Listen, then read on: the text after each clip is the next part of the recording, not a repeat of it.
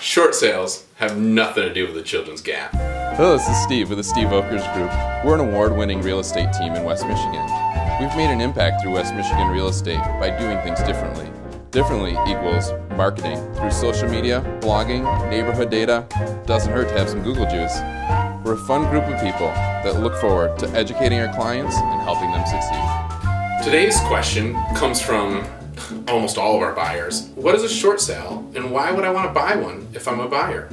A short sale is, well, really the mortgagee or the owner of the property right now owes more on the house than what it's really worth in the today's market. So they put it up on the market and tell you a buyer that it's available if the bank is willing to take a loss or a short on what they owe. So an example could be they have a house it's worth 150,000 in today's market that you might be willing to buy it for, but their mortgage is really 190.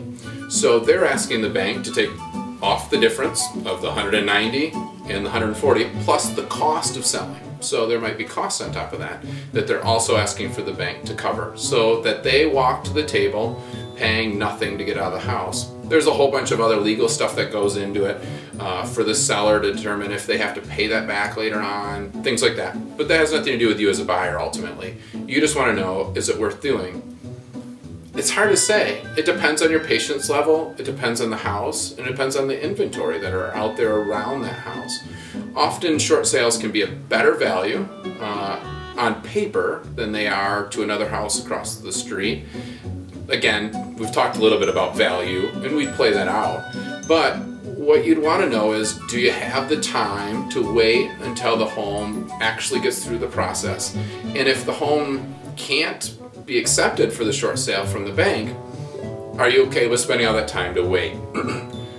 so we have a couple of buyers right now that we call our pending. So they're waiting to find out if the short sale is going to be approved from the house that they want to buy. If they can, they'll get a really great deal. But the bank might come back and say, nope, instead of being the 150 that you offered and we accepted, we're only willing to take 165 you'll have to make the determine of if you want to take the 165 and move on, or would you rather walk away and look for another house. But it might even take you two to three months to hear back from the bank on the 165. Sometimes it's only two weeks. But there's a process that goes through that has to do more with the bank's timeline in the agent that represents the seller and how good they are at negotiating short sales with the bank to determine if you're going to get the home at that right price. Here's a word from our sponsor this week. Habitat for Humanity of Kent County provides home ownership for those that just sometimes can't qualify for a standard mortgage like we work with. But right now they have multiple homes that they don't have homeowners for. So they've put a call to action out there for friends of mine and people that we might know. If you know of somebody that um, has a family, doesn't have to have a family, but really wants a, to live in a home, Habitat for Humanity might be able to help them out. They're asking for us to refer them people that you know that might be looking for home ownership. It's a great program. I've been involved and so should you. Sort of to finish this conversation up, the question would be is how much time do you have before you need in to be for sure in a house, right? You want to know because you don't want to wait three months, find out that you can't get in that house, but you have to be out of your current house or be out of your apartment in a matter of three to four weeks. Then a short sale probably isn't for you. The other thing you want to do is just make sure that when the short sale comes through, that they have the offer ready and they say, we'll sell it to you for 150. You have to be ready to close it very quickly. So we have to have all the information in and move forward quickly. Thanks so much for watching this episode. We'd love to hear from you. Contact us and connect with us on Facebook at the Steve Volkers Group.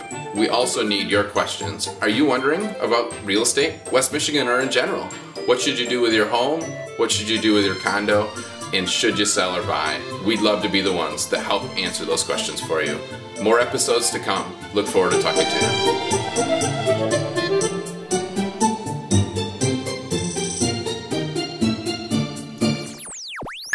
So today. Oh. Yo, punk!